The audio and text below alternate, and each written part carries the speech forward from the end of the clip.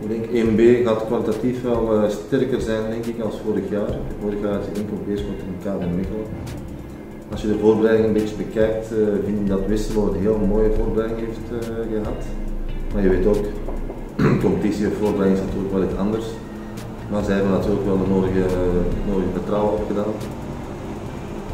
En je hebt, verschillende ploegen die gaan meedoen, maar het zal zaak zijn om in een van die twee periodetitels uh, te proberen te pakken. En als dat lukt, dan, dan doe je mee natuurlijk. Maar ik denk wel, Lokeren en Beerschot op papier zijn wel denk ik de tikkelkandidaat.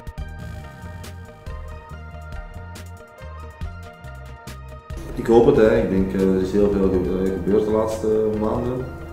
En het is ook doodjammer dat je twee jaar na elkaar eigenlijk die promotie net mist. Zeker twee jaar geleden laatst minuut die penalty tegen.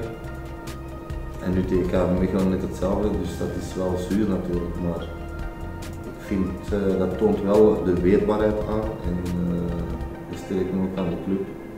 Ze zijn een weg ingeslagen, je ziet van mij komen. ik kan je alleen maar chapeau zeggen.